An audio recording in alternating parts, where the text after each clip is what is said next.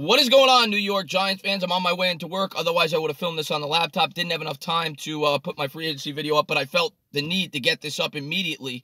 As now we have received word that the first, second, and third wide receivers are missing time. Shepard, we think, will be back before the start of the season from the reports that came out yesterday from Pat Shurmur. He said he's not too worried about it. We're going to have to continue to monitor that situation. Of course, Corey Coleman is out for the year with a torn ACL. Now, Golden Tate will miss the first quarter of the season due to a failed drug test, performance enhancing drugs. So that's our top three wide receivers now are not playing in camp, not to mention Darius Slayton with his tweaked hamstring. So right now on the Giants depth chart, you have Reggie White Jr., you have Latimer, you, you, you have Bennie Fowler, you have Mr. Bad Dog, and you have the entertainer. That's how thin they are right now. I just got a call from the Giants before I made this video to play slot. But on a serious note, uh, the Giants are going to have to scour the free agency market. They, they have to. I can't paint a rosy picture here. This is not a good start to the season. It is not looking up, coming off eight wins in our last two years. And now, I get it, you know, that you may have a couple injuries to start camp, but to all be at the same position, a position in which you traded away Odell Beckham at the start of the year and knew that you were going to be a little more thin at to begin with. And now our top three guys have either suffered injuries or have been suspended because they take steroids. What is Golden Tate thinking? What is he thinking? We just signed this guy to what, uh, what a nine and a half million dollar year contract, and he goes out, he takes uh, HGH. So now he's going to miss the first quarter of the season. It is not looking good uh, for the New York Giants so far this year.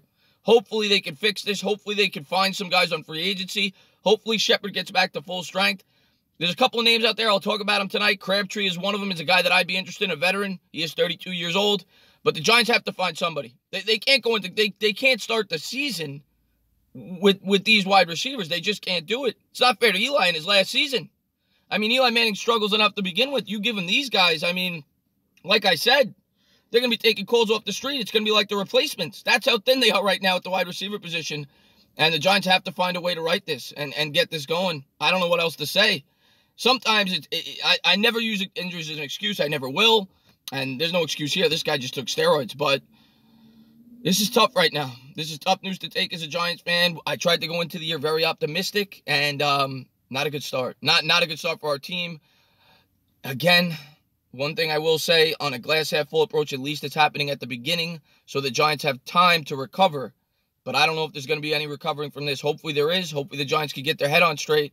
But to be without your top two wide, three wide receivers, potentially four forward Slayton in camp right now as it's getting underway, not looking good as I'm sweating in my car. I got to get to work, guys, but I wanted to get the news up. As always, if you liked what you watched, please subscribe, drop a comment, maybe give me a little thumbs up. Cheers.